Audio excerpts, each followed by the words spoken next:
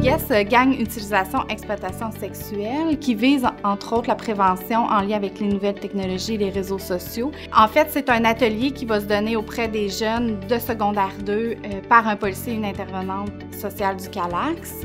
Le déroulement en classe, c'est sur trois périodes. Donc, il y a une première période avec un événement déclencheur. L'événement déclencheur, c'est la bande dessinée.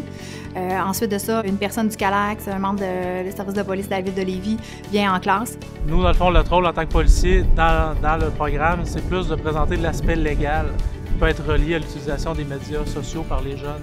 On parle du consentement, on peut parler aussi euh, par rapport euh, au sexto, les gens qui prennent des photos, que ce soit de, nature pornographique ou autre, les conséquences que ça peut avoir au niveau judiciaire.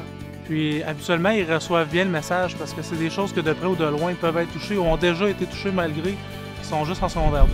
Donc moi, il doit faire une démarche éthique complète, une réflexion euh, que moi, je vais évaluer. je suis capable aussi de voir à travers cette démarche éthique-là si les élèves ont bien compris l'enjeu, sont capables de bien cibler et surtout s'ils sont capables de réinvestir ce qu'ils ont entendu pendant la présentation. Pense que c'est important. On a un devoir en tant qu'éducateur, en tant que milieu scolaire, de sensibiliser nos jeunes qui vont réfléchir au moment où est-ce qu'eux vont publier des photos. C'est là où est-ce qu'on veut les amener. Et après ça, lorsqu'ils sont face à leur appareil seuls, qu'est-ce qu'ils font?